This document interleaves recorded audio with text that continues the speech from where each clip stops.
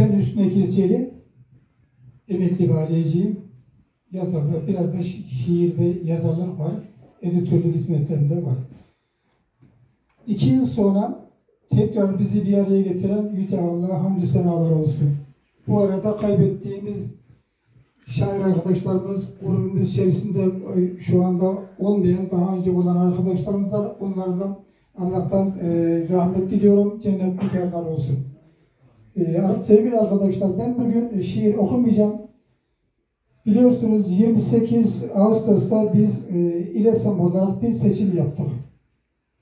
Oradan seç, seçim yap, yaptıktan e, seçimden sonra yani e, dilek ve temenniler kısmı geçildi geçilerek e, seçimlere geçildi.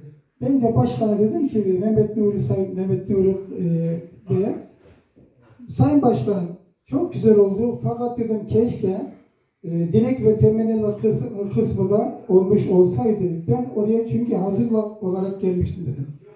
E, bazı sorularım var dedim. E, sorularımı e, şimdi o zaman dedi bana gönder. Gönderdim. 8 tane soru gönderdim. Ve 8'in de cevabını aldım. Dedim ki baştan teşekkür ediyorum. Ben e, bu sorularımı ve aldığım cevapları dedim. İlk toplantıda arkadaşlara söyle ileteceğim. O da dedi ki keşke bu sorularınızı orada söylemiş olsaydınız en az %70, %80 arkadaşlarımızdan bilgi sahibi olur dedi. Şimdi şunu söyledim başkanım, bakın e, şunu söyledim. Sevgili başkanım, biz normal şartlarda e, yarı resmi bir kuruluş olarak en az 3500 tane üyesi olan bir kuruluşun her hafta cumartesi sohbetleri ve şiir dinletisinde 25-30 kişiyle toplantı yapıyoruz. Bu sizce e, bu sizce e, şey mi yani e, nasıl Normal. normal, normal dedim. O da dedi ki ya biz gerçekten duyurular duyurular yapıyoruz. Bütün duyu- duyurular yapıyoruz. Ancak bu kadar geliyor. Hatta geçmişte dedi. Çok büyük yerlerde de toplantılar yaptık dedi. Çünkü ben e, aldığım cevaplarda birebir e, size aktaracağım ki burada şey yanlış olmasın yani. İkinci olarak dedim ki Sayın Başkanım ben sizi 2-3 yıldır ben e, toplantılarınıza katılıyorum. Ankara'da yeniyim ama hiçbir toplantıda sizin toplantıyı izlediğinizi, oturup dinlediğinizi görmedim dedim. O da bana dedi ki şöyle dedi. "E, Doğru söylüyorsunuz. Yani o kadar çok işiniz bir işi var ki hatta şöyle dedim. Birisini dinlesek, birisini dinlemesek bu sefer yanlış şey e, oluyor. O yüzden mümkün olduğu şu ana kadar yani bunu dedi e, gerçekleştiremedim. Üçüncü olarak dedim ki başkanım bizim ben merak ediyorum dedim. Ee, bizim üyelerimizden o kadar kitapları bastıran insanlar var ki yazarlarımız var, şairlerimiz var, bilim insanlarımız var. Bunların eserlerinden bir tanesi olsa almak aldınız oldu mu dedim.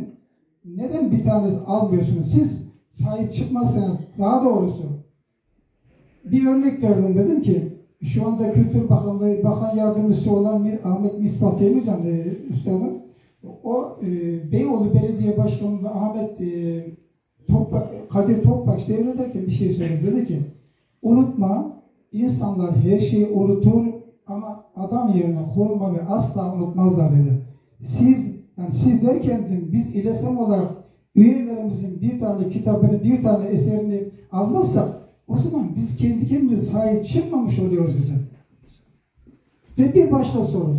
Dedi şunu söyledi. O kadar çok şeyimiz var ki o yüzden biz yani bizim bütçemiz yok dedi. Şu o kadar bu karşılayacak bütçemiz yok dedi. Haklı olabilir. Bir başka soru dedim. Başkanım siz e, şimdi şimdi siz kitap basmaya da e, kitap basma işine de girdiğini söylediniz. Bize bildirdiniz. Ben dedim sizle geldim görüştüm.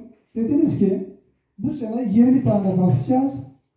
8 tane benim hocam, senin benim var. 8 tane de Nurullah hocanın var. Geriye kalıyor 4 tane. Dedim 4 tane bu yetecek mi? Dedi ki ben biz onları İlesan'da basmayacağız.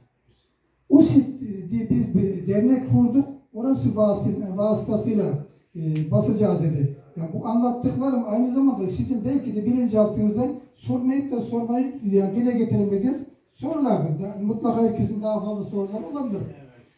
Bir başka soru. Başkanım dedim, şu anda e, şu- e, gördüğüm kadarıyla yargının 8 maddeydi. E, ben dedim orada e, yönetim raporu ile denetim raporu arasında hiçbir fark göremedim dedim. Adeta denetim raporu yönetim raporu olarak sunulmuş gibi de hissettim. Bu denetimde görevli arkadaşlar bu konuda ehil insanlar dedim. İsim de verdim. Dedi ki bir, yerde çalıştığını falan söyledi ki bu gerçekten önem verirsek bizim geleceğimiz açısından çok iyi olur. Ve, ve bir başka soru. Ben de, e, gördüm, siz okudunuz. E, telif ücretlerinin, telif haklarından dolayı 80 bin lira gibi bir rakamı bütçeye koymuşsunuz. Şimdiye kadar dava açıp hangi e, üyenizin hangi konusu için dava açıldı ve ne kadar telif ücreti alındı? Bunu dediğim şey yapabilir mi? Yani bunu bi- biliyor musunuz? E, dedi ki bunu e, kişisel olduğu için söylemeyeyim ancak e, gerçekten çok oldu. Hatta bir belediyenin ismini verdi. Dedi ki "Bel- belediye e, bizim üyemizin bir tanesinin e, resmini kullandı. Dolayısıyla bir e, dava açtık ve onu da kazandık dedi. Arkadaşlar şu anda benim e, şu anda anlatmış olduklarım tenkit değil. Bu e, aynı zamanda aynı geminin içerisindeyiz. Aynı teşkilatın personeli olarak e, işte daha ileri gitmek adına sizlerin adına sordum ve bunlar cevapları da aldım. Sizlere de iletiyorum. Varsa bir kusurum affola diyorum. Hepinize saygı ve sevgiyle selamlıyorum. Hayırlı akşamlar.